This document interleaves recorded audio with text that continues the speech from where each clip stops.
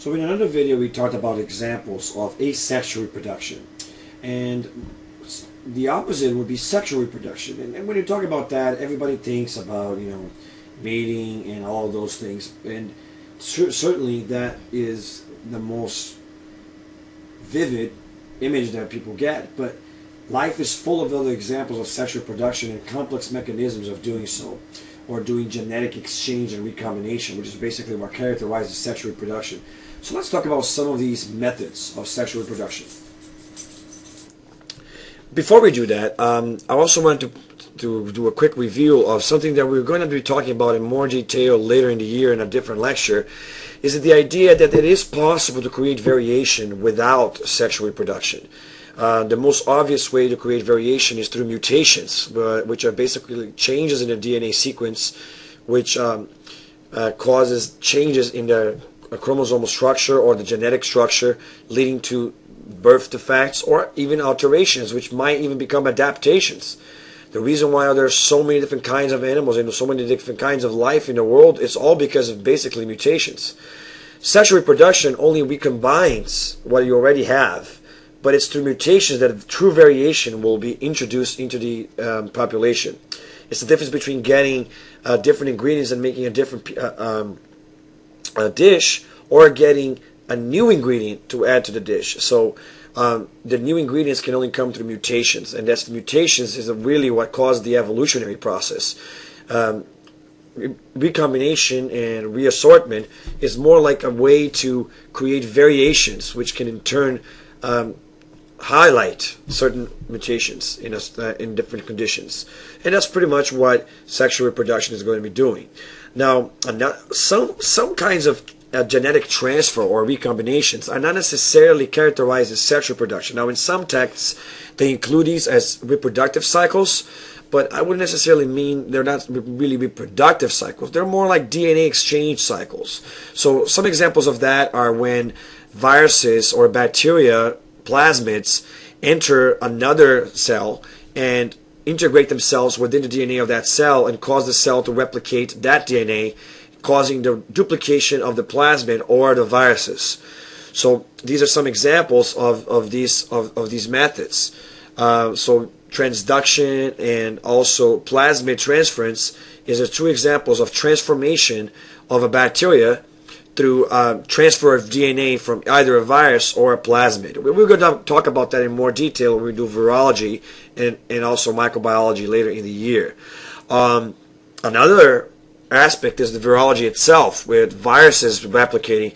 Viruses are a very, very funny um, thing, and a lot of discussion about whether or not they're alive. But one thing they definitely do is replicate themselves. But they don't do it by themselves. They have to use the machinery of the cell to do that.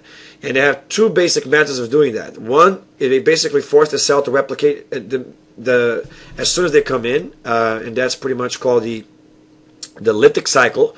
And the other one, they incorporate themselves to the DNA of the cell, wait for the cell to split itself, and then after lots of splits have happened, then it activates, and instead of having one factory, it makes thousands of factories, uh, which undergo the lytic cycle. So uh, in the second version, the virus is lays dormant for a while. And we're going to be doing this in more detail later on the year when we go over these things again. But remember that the point of this is that there are other variations, other ways to create variation in genetic change, which are not technically repro- sexual reproduction. All right? Now, another version of these things, which are kind of like a gray line, is a bacterial conjugation. Now, in bacterial conjugation, uh, bacteria um, use a pilus or pili to connect themselves to another bacteria and drag the other bacteria to it.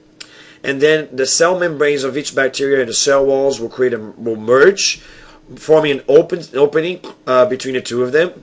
And then across these openings, the plasmid DNA from one gets transferred into the other, and then that will cause the the uh, recipient cell to uh, change in response to that transference. So uh, that is what we were talking about in the previous uh, uh, two seconds ago about the plasmid transference. And that happens naturally, or it could also happen when uh, a little plasmid, whether or not it's inside of a, of a bacteria, is uh, accidentally incorporated within a bacterial cell. And we can actually do that um, in the lab as well. So we can do force the transformation of a bacteria. In AP biology, we actually make bacteria glow in the dark by using this method.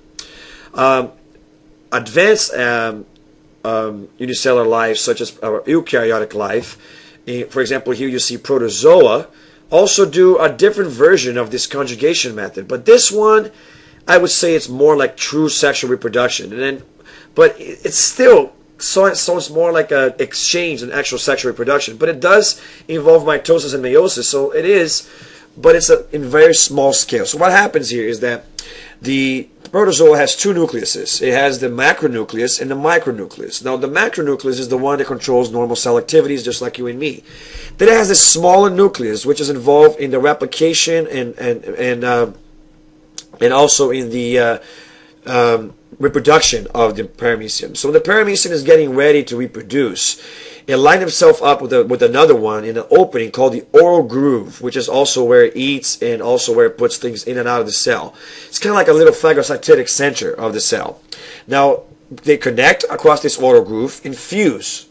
But at the same time that fusion is happening, um, the macronucleus goes away and destabilizes, leaving only the micronucleus.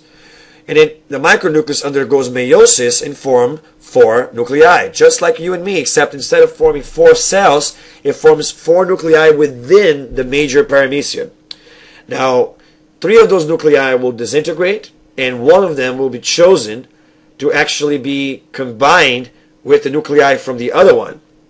And after the nuclei from the other one happens, mitosis will take place to form four diploid uh, nuclei. Those nuclei swap around and switch places, and then the cells in diffuse, and one of the nuclei becomes the macronucleus, and one of the nuclei becomes the micronucleus. Which means the macronucleus and the micronucleus might be different from each other. So it's, it's funny. The, the DNA that's actually exchanged might not be the DNA that actually is used throughout the life cycle of the cell. So it's a very complex life form if you think about it, and the method that this work. Remember that since there was meiosis, there's going to be recombination, there's going to be crossing over, and all the things we talked about in the other cycles. But when it comes time to decide, one of these is going to be that one is going to determine how the cell is going to look like and act, and the other one is going to be only used when the cell is going to be produced again.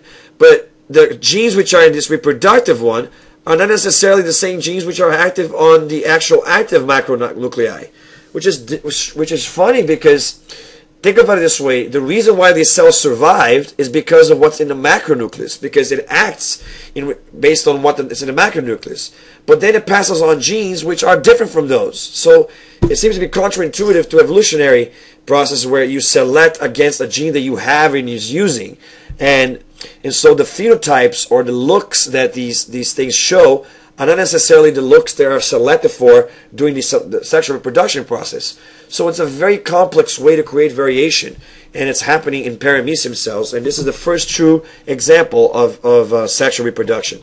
Now, the uh, uh, there are other ways of doing this. Another way of doing it is called autogamy. Okay, now autogamy is a very funny uh, process in, in, which the cells of paramecium actually kind of like have sex with it themselves.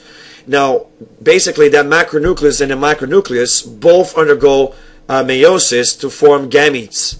So remember that these macronucleus and macronucleus are different from each other, right? So when they undergo meiosis, they, they become haploid things, and then the uh, all the micronuclei and macronuclei they disintegrate, leaving only one haploid micronuclei left. And then that one selected, randomly selected uh, uh, haploid nuclei is going to undergo mitosis to form a hap, a two haploid micronuclei. And then in something that's similar to parthenogenesis that we talked about in plants, they, those haploid nuclei will fuse to form a diploid micronucleus, which then undergo, undergoes two mitosis to form four diploid micronuclei. And then two of those will, for, will fuse and form one macronucleus and then two small micronuclei. And then after a series of replications, you're going to have different variations of the nucleus. So what's happening here, since you have two nucleus, two types of nucleus, it's technically sexual reproduction because you're mixing and combining different DNAs through the process.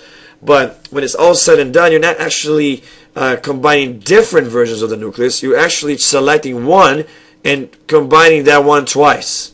So it's more similar to parthenogenesis than anything else, but it's kind of like um, it's kind of like uh, sexual reproduction because at the stage that you have these uh, one macronuclei and eight, eight micronuclei here, all right, at this stage the uh, there, there's going to be a lot of uh, crossing over and things like that happening between the nuclei, which is going to create variation. So it's technically causing a parallel exchange, which classify, qualifies as sexual exchange.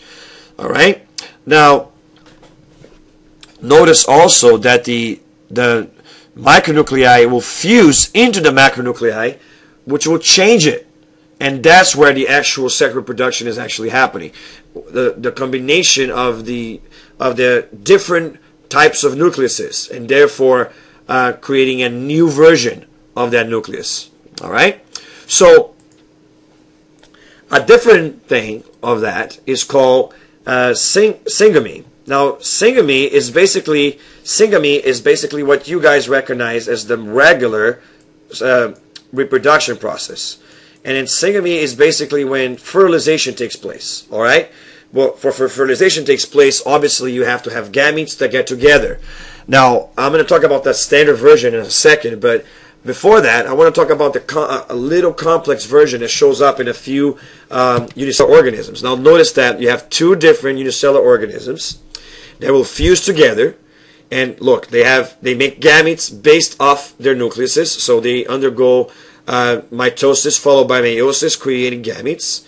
And then these gametes all right, will um, multiply, all right, and then be exchanged between the two of them randomly. And then basically what's happening is that each cell is fertilizing itself, and each cell, each gamete from one cell is combining with gametes from the other cells, forming in both cells a diploid uh, my, um, nucleus. Now this diploid nucleus will then undergo more mitoses, forming several diploid nucleuses. And then these diploid nucleuses will differentiate and keep growing into smaller mini cells within the big cells. Then finally the cells will separate and each of these mini cells will replicate many times in something that saw, looks like um, the schizogony that we saw on the asexual reproduction and form several um, uh, cells out of that. So it's a very complex mechanism of exchanging and uh, cells be, uh, and exchanging nuclear, nuclear information between them. Uh, you create gametes, you multiply the gametes, you exchange the gametes, gametes uh, fertilize themselves, then you duplicate these these zygote zygotes inside the cell, let them differentiate, and then you do schizome, and within each of those things, after they shuffle around, and you make completely different life forms out of the original. So it's a very interesting process of doing that. And then you have the, the another the, the standard type of syngamy that everybody recognizes, which is the syngamy of sexual reproduction, right? Now that's basically when you have um, that classic version that we've talked about when we did meiosis, when two mature adult organisms both do meiosis of their germ cells to create gametes, which then fuse to, fer fer to fertilization to form a zygote, which is a unicellular diploid cell. And those gametes were haploid cells, of course, and they have to be, otherwise you get double the DNA in the zygote, which is not what you want. Zygote undergo mitosis form. Uh, a multicellular organism, which then undergoes differentiation and growth to become the adult, which recites, restarts the cycle. Now, that is the classic version that everybody recognizes when you think about sexual reproduction. But there's actually several versions of these, these processes. And there's several variations of, of these reproductive cycles. And so on our next video, we're going to talk about some of these variations of the classic reproductive uh, sexual cycle involving meiosis and mitosis, which is called alternation of generations.